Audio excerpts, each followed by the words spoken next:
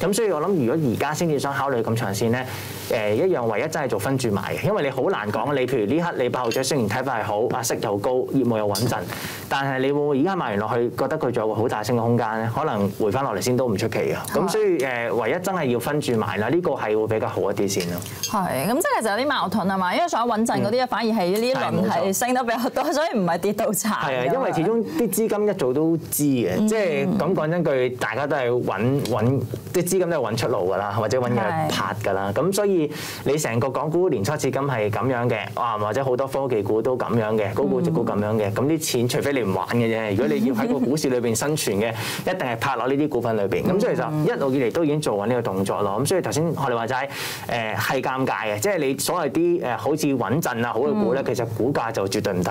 咁呢個就唯一真係要慢慢分階段買翻先會比較好啲咯。